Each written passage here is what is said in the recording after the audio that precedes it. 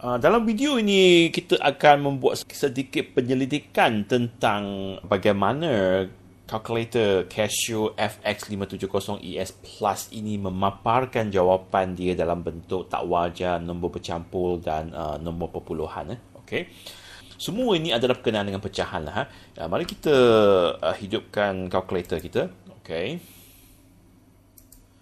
Now, kalau kita pergi ke setup, eh, shift setup, kita pasti bahawa kita ada dua cara input output ya, iaitu uh, max input output dan linear input output. Jadi bagi pecahan ni kita ada dua cara input output ya, iaitu uh, max input output dan linear input output.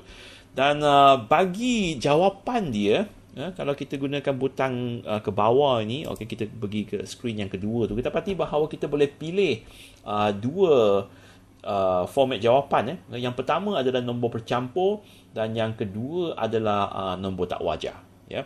Okey. Jadi bagi max input output ini kita boleh pilih uh, nombor bercampur atau nombor tak wajar. Uh, bagi linear input output pun kita boleh pilih nombor bercampur dan uh, nombor tak wajar eh. Okey.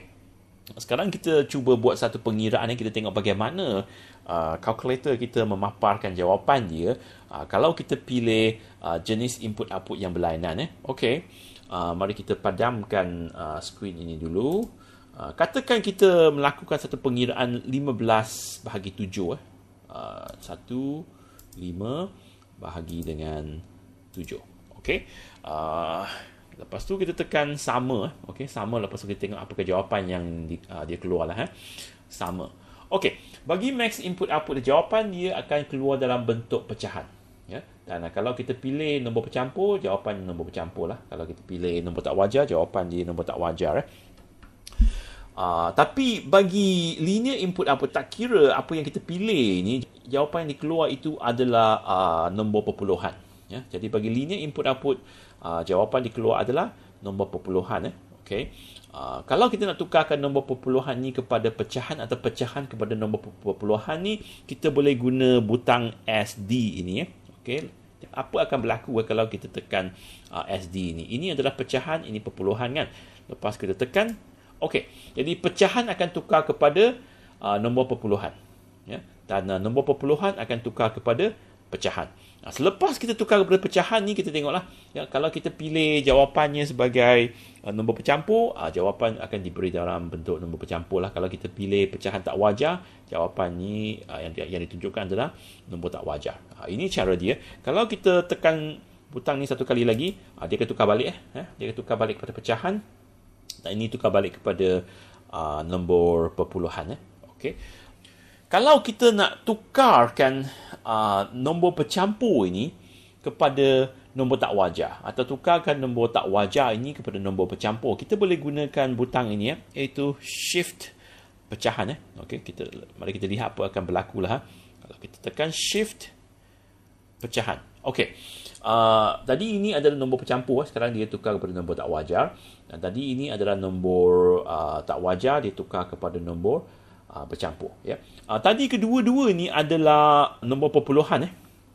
Tapi selepas kita tekan shift pecahan ini, uh, ini dia tukar kepada uh, nombor tak wajar. Uh, sepatutnya dia adalah nombor bercampur kan eh. Tapi kalau kita tekan shift pecahan ni, ini akan tukar kepada nombor tak wajar eh. Ha, ini nombor tak wajar ni tukar kepada nombor bercampur. Ha, ini adalah fungsi bagi uh, butang ini eh. Kita tekan shift pecahan ini nombor bercampur tukar kepada nombor tak wajar. Nombor tak wajar tukar kepada nombor bercampur. Eh. Ha, kalau dia dalam tempat perpuluhan tu dia pun tukar kepada uh, pecahan lah. Eh. Okay. Kalau kita nak tukar dia balik kepada nombor bercampur ini kepada nombor tak wajar tu kita buat satu kali lagi lah. Eh. Shift pecahan. Ah, okay. Jadi nombor tak wajar tukar balik kepada nombor bercampur dan nombor uh, bercampur tukar balik kepada nombor tak wajar. Uh, ini tadi nombor tak wajar tukar kepada nombor bercampur dan nombor bercampur tukar kepada nombor tak wajar. Uh, dia tak tukar balik kepada uh, nombor perpuluhan. Eh. Kalau nak tukar kepada nombor perpuluhan tu kita kita tekan uh, SD ni lah.